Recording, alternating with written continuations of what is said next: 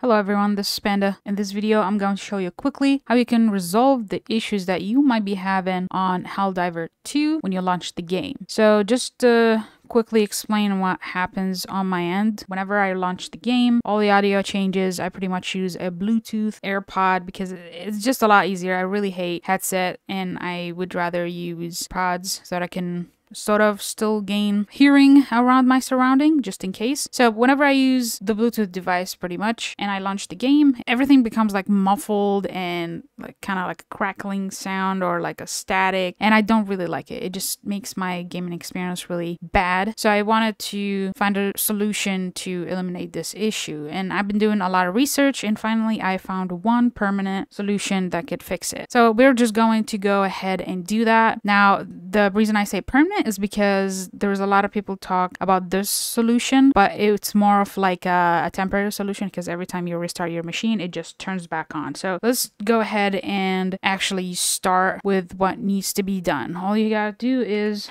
search for services and then click open and I'm gonna show you what a will launch this for you. And what you'll essentially be looking for is a Bluetooth. Where is it? Where is it? So Bluetooth audio gateway service. As you can see here, currently it's running. And this is the main reason why your audio sounds like that. So what you want to do first is you want to right click and you want to stop the service from running.